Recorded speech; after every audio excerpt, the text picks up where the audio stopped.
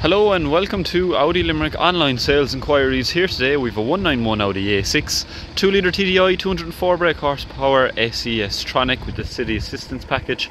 Some of the key features single frame chrome Audi grille, LED headlights with daytime running lights with honeycomb insert on the front bumper, upgraded 18 inch multi spoke alloy wheels with chrome exterior package on the windows and door frames to blend nicely with the Floret silver metallic paint Comes with front and rear sensors with a 360 degree camera, as well as only 22,000 kilometers on the clock and a full 12 month Audi approved plus warranty with servicing intervals of 2 years or 30,000 kilometers.